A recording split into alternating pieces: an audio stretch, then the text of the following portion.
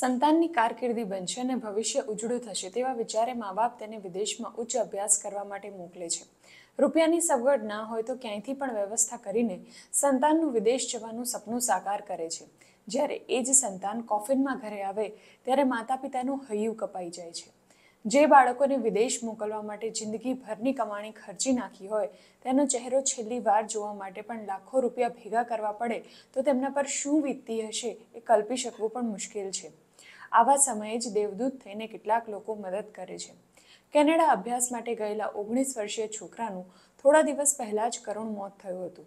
તેના મૃતદેહને અમદાવાદ લાવવા માટે ક્રાઉડ ફંડિંગ થકી રૂપિયા એકત્ર કરવામાં આવ્યા છે. કેનેડાના ઓન્ટારિયોમાં અમદાવાદના ઓગણીસ વર્ષીય વર્ષિલ પટેલનું રોડ એક્સિડન્ટમાં મોત થયું હતું.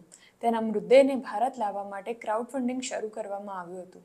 સ્થાનિક લોકોએ ઉદારતા દાખવતા નિર્ધારિત લક્ષ્ય કરતાં વધુ રકમ એકઠી કરી છે. વર્ષિલના મૃતદેહને ભારત લાવવા માટે ત્રીસ હજાર કેનેડિયન ડોલર એટલે કે આશરે અઢાર પોઈન્ટ એકસઠ લાખ રૂપિયાની જરૂર હતી. લોકોના દાન થકી બેતાળીસ હજાર પાંચસો ચોસઠ કેનેડિયન ડોલર એટલે કે છવ્વીસ પોઈન્ટ સાડત્રીસ લાખ રૂપિયા એકત્ર થયા છે.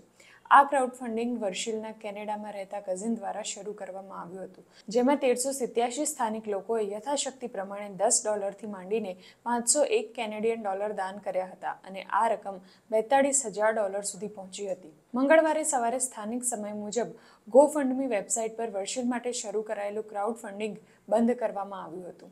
વર્ષિલના કઝિન તરીકે પોતાની ઓળખ આપનારા રાજન પટેલે ક્રાઉડફંડિંગ વેબસાઇટ પર લખ્યું, વર્ષિલનો પરિવાર છેલ્લી વાર તેનું મોં જોઈ શકે, તેને માટે મદદ કરનારા સૌનો આભાર.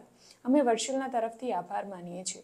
અત્યાર સુધીમાં બેતાળીસ હજાર કેનેડિયન ડોલર એકત્ર થયા છે, જેનો ઉપયોગ વર્ષિલના મૃતદેહને ભારત મોકલવા માટે અને અંતિમ ક્રિયા પાછળ જે ખર્ચ થશે, તેના માટે કરવામાં આવશે.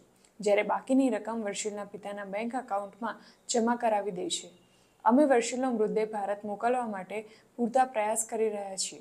ક્રાઉડ ફંડિંગ શરૂ કરતી વખતે વેબસાઇટ પર લખવામાં આવ્યું હતું કે અમારો વાલો ભાઈ અને મિત્ર વર્ષિલ આપણી વચ્ચે નથી રહ્યો અને આ વાત અમે સ્વીકારી નથી શકતા.